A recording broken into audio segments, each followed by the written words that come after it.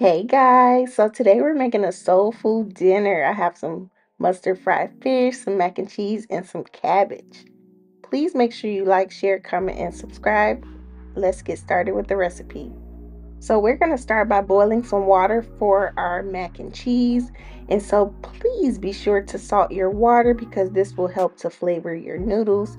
So I'm just using about three fourths of a box of elbow macaroni. The the whole box is a pound, and so I just used three fourths of that and then I cooked it for maybe about six or seven minutes. You don't want to overcook it because it's going to cook in the oven. And so I added a couple tablespoons of butter, and then you want to season your mac and cheese, guys.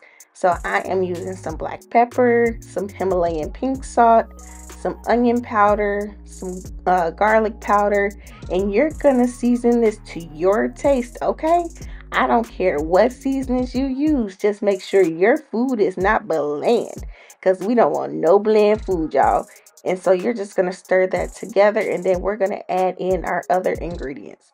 And so I'm using about five cups of shredded cheese. So I have some sharp cheddar, some mild cheddar, some Parmesan cheese, some Colby Jack cheese, and then um, a little bit of mozzarella. And so you're just going to stir all of this together and you're going to add your milk. And I've made baked mac and cheese a few times on my channel already. And so I'm not really doing anything different.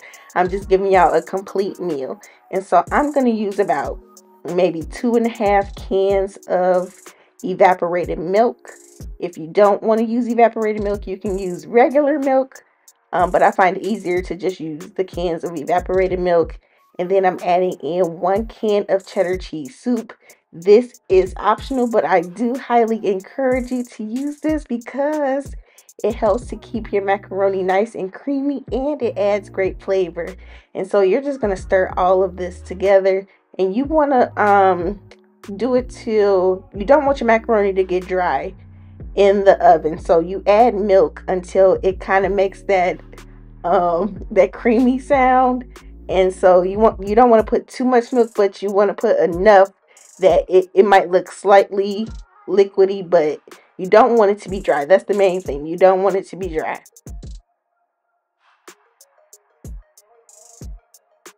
And depending on how much macaroni you're making you're going to use more or less milk and so i again only made like three fourths of the box and the box was a pound and so I used about two and a half or so cans of milk. And I think the cans are 12 ounces each.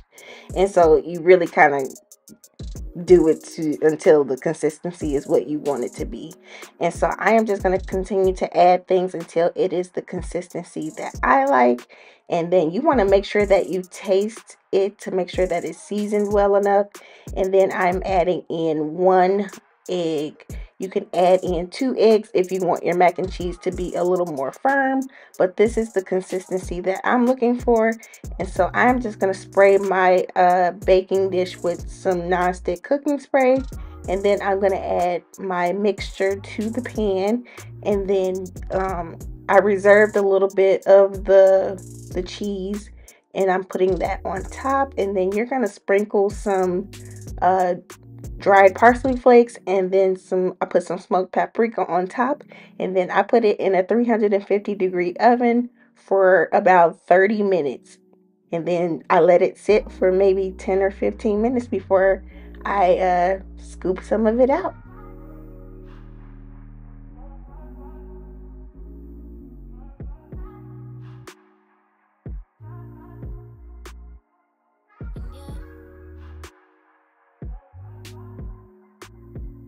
And so after about 30 minutes, this is what the mac and cheese look like. Again, I let it sit for about 10 or 15 minutes before scooping it out. Oh my goodness, it's so creamy, so cheesy. Oh my goodness, I love baked mac and cheese. And this is perfect for the holidays, y'all. It's coming up, but I made this for my Sunday dinner. So, um, but this was super delicious. Um, so next I am going to get started on the mustard fried catfish. And so I am just going to season it with some Old Bay seasoning. I'm not going to put too much on there because I am using um, the Andy's uh, seasoned uh, cornmeal uh, fried. Y'all know what I'm talking about. I'm using the batter, not the batter. Jeez Louise. I am using the breading that's already seasoned. But anyway, I am just squirting some yellow mustard on the fish. And so I would say I use maybe about a fourth of a cup. And so we got these uh, catfish fillets from Costco. And so six of them came in a pack.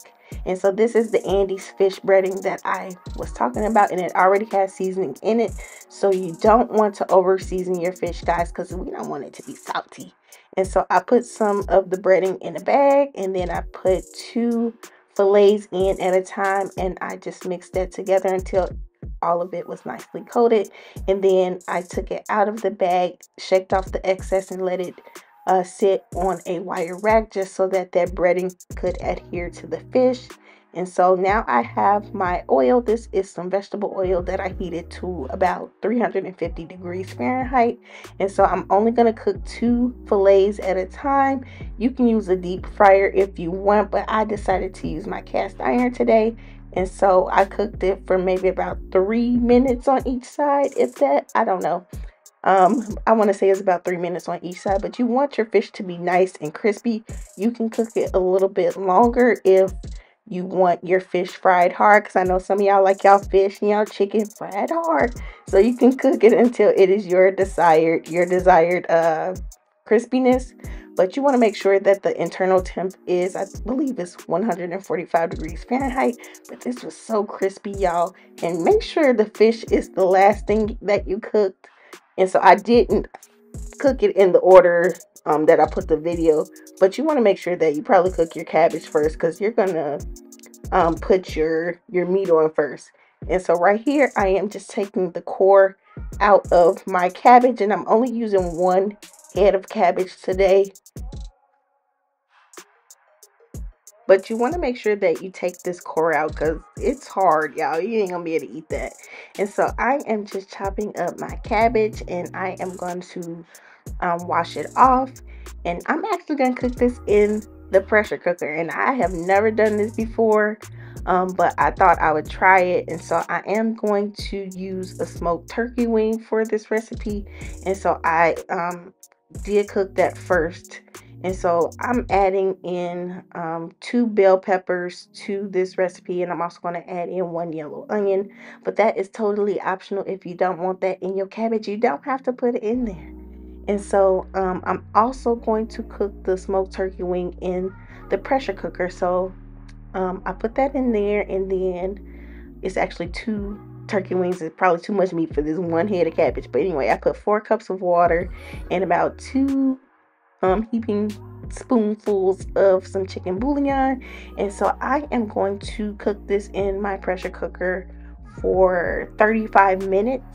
And it was nice and tender after the 35 minutes. You don't want to put all of like your cabbage and your meat in there at the same time because your cabbage is gonna be mushy, baby. But um, I've never made this in an instant pot before, and I don't know that I would do it again.